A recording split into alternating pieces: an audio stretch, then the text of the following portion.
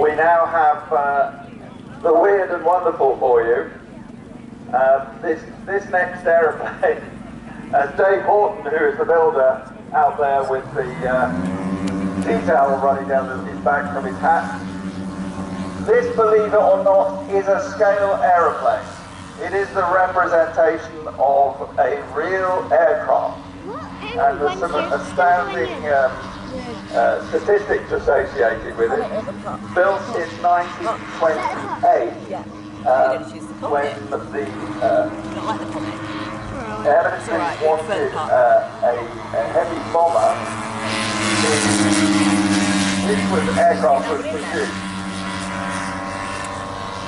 And it had a wingspan two feet longer than a jumbo jet of today. And of course, John, this was uh, the first attempt at an all-metal airframe, so um, massive amounts of massive amounts of aluminium while they sort of learnt their trade the crossover between um, spruce and wires and fabric and uh, getting to grips with a, uh, a monocoque structure in aluminium.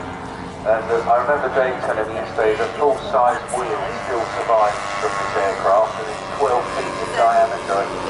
I can't if they've got it at Cosford or Hendon. Hendon, yeah. That's right. But um, they, uh, I, I seem to recall the full-size have got bracing wires on the wings as well, so I can't imagine how long they were. Dave's coming over to educate us on it now, I think.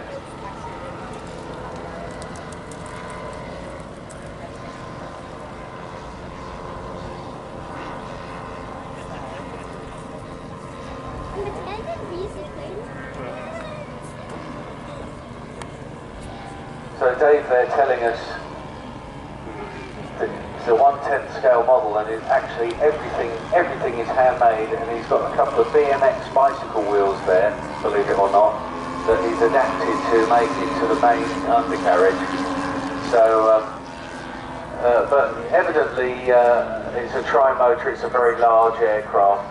But I have to say, he's got everything right about it to be a model. So you've got a huge wing area there, massive tail surfaces, so it, it's almost a guaranteed performer despite being completely unique.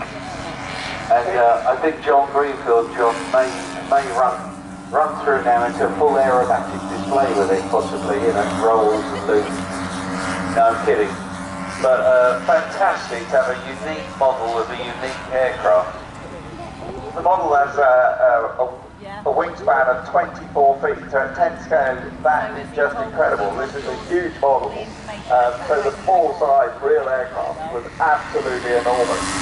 And uh, the model weighs 85 kilos. So we're a big end of 200 pounds there, being flown by three 35 cc's and now a petrol engine. So the, the real challenge for the full size, and the reason it wasn't taken forward after the prototype was built, was that, that they couldn't get enough power into it. Steve Holland, the, uh, News at 10, Cosford.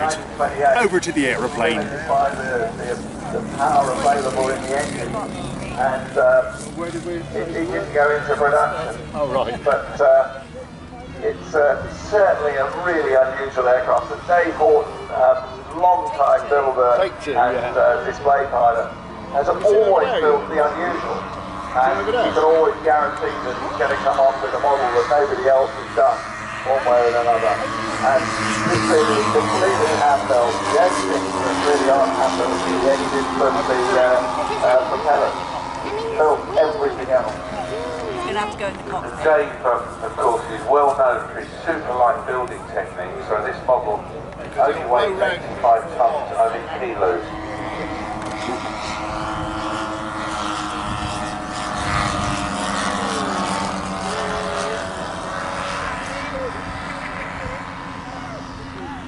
And I remember now, Dave was reminding me, because this is some 25 years or more ago, that he took up the hobby as um, a, uh, a, process for dexterity after get, getting over a uh, severe injury where his arm was severed when he was serving with the fire brigade in London. And he had his arm reattached and put on. So he principally took up the hobby to um, uh, yeah, to, to, to uh, gain more dexterity with his injured arm. and then he tells me now that things have changed, that pretty much built this model one-handed, so I am in this more, all the more credit.